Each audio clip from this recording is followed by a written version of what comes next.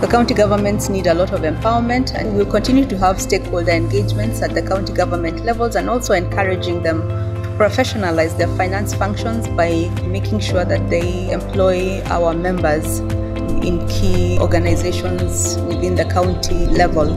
We've also had various stakeholder engagements to advocate for the role that professional accountants play in financial management at both the county and the national government levels. I intend to strengthen the branch leadership so that they can effectively engage with the county governments and provide better services to our members at the branch levels.